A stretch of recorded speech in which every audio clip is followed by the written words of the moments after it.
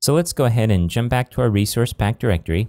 And let's go ahead and take a look at the 11th step, which is called test.php parsing data into an array. We're going to go ahead and copy this code and paste it over the code that's currently in the test.php file, and we'll save it. So there's two things happening in the code here. In the top, what we're doing is taking the data from our text file and we're converting it into an array. This is called parsing out the data, or creating a parser. A parser is simply something that takes data from one format and converts it into a format that's easier to use in our code. If we scroll down, this bottom part here should look familiar. This code simply takes our people array and renders it into an HTML table. Let's go ahead and scroll back up to the top. And let's do a quick demonstration. I'm going to jump back to the browser and I'm going to refresh our test.php file. Now you've seen this output before, but the difference is, is that instead of this data coming from a multi-dimensional array, it's coming from our comma-separated values text file. Okay, let's go ahead and jump back to the code and see how we're doing this.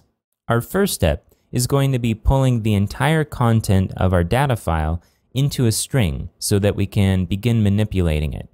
The way that we're doing that here is by using something called an output buffer.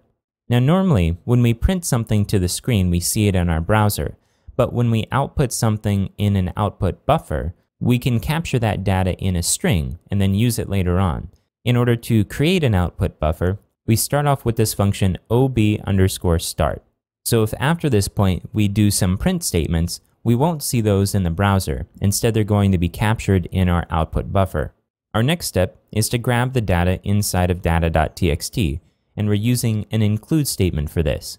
Now our data.txt file isn't wrapped in PHP tags, and so what we're doing here is simply pulling in that text.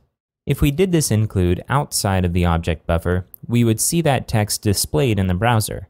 You can test this out by commenting out all of these lines except the include line. Our next step is to take the data in our output buffer and put it into a variable so we can use it later on. And we do this by using the function ob underscore get underscore contents. This function will get everything that's in our output buffer at this point, which is all of the text that's in data.txt, and then we're assigning that value to a variable.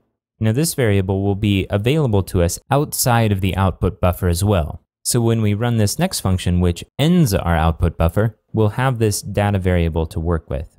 Now this next function is output buffer end clean.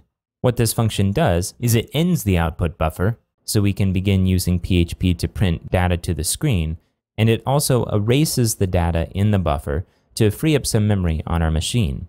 So at this point, our output buffer is no more, but we still have our data variable that we can work with. Let's go ahead and take a look at what's inside of that. We're going to uncomment out this debugging line here. So what this line is going to do is use var_dump, which we used before in order to look at the contents of a variable, and then we're running the function die, which will stop the execution of PHP at this point. Now this could be on two lines where we do a var_dump first, and then we do die with no arguments being passed to it.